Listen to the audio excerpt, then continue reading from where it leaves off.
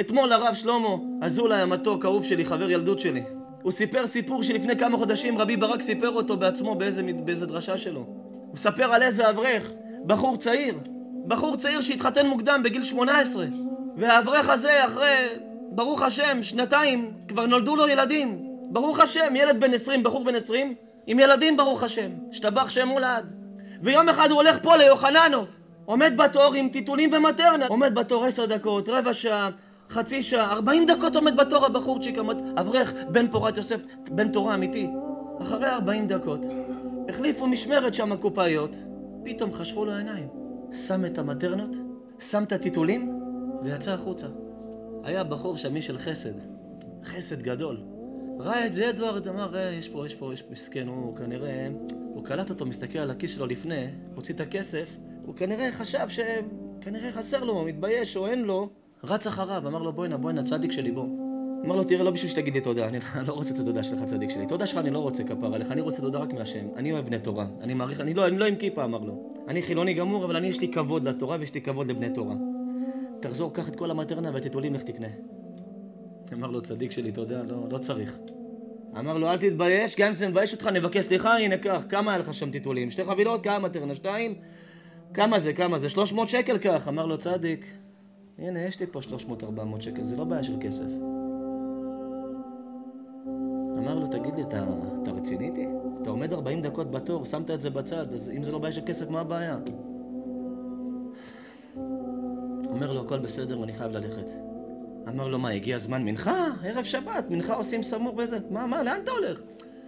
אמר לו, כפרה עליך, הכל בסדר, אני, אני חייב למצוא סופרמרקט אחר.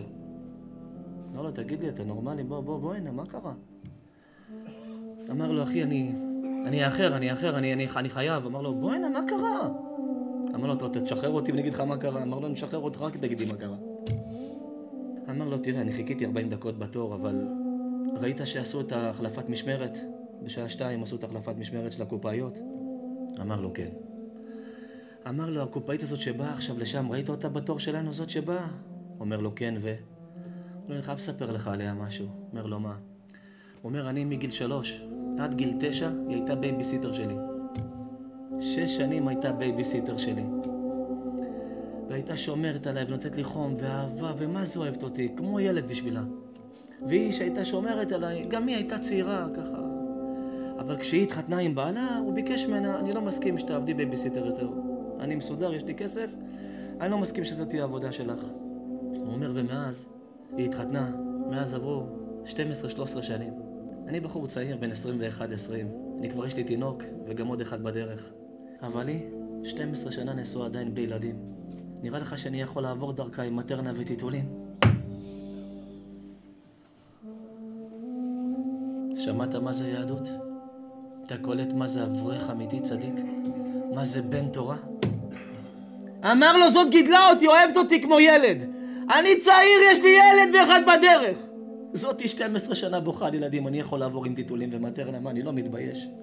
מה, אין לי, אין לי כבוד לבני אדם?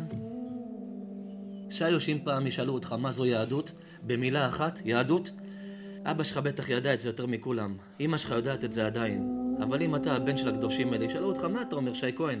מה זו יהדות? יהדות זה דבר אחד. לא לצייר אף אחד. לא לצייר אנשים. לא לבייש אנשים.